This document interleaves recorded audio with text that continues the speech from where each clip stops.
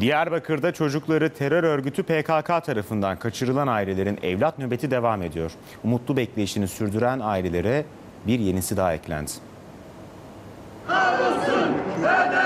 Annemin hani dizlerini dövmesi, her gece ağladı, ağlarken sesini duymasını ben kendim görmek istemiyorum. Evlat annesinin kucağında olur. Gece gündüz demeden aylardır evlatlarından gelecek güzel haberi bekliyorlar.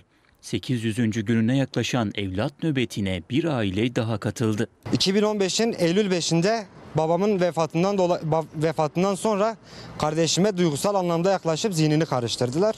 Diyarbakır'da çocuklarının PKK tarafından daha kaçırıldığını söyleyen aileler nöbetlerini gecede sürdürüyor. Kardeşi Mahsun Yıldız'ın 2015 yılında 17 yaşındayken HDP aracılığıyla daha kaçırıldığını belirten Serdar Yıldız'ın da katılmasıyla evlat nöbetindeki aile sayısı 238'e yükseldi. Kardeşimin buraya dönmesini istiyorum. Ben de artık hani buraya gelme mücadelem onun içindir.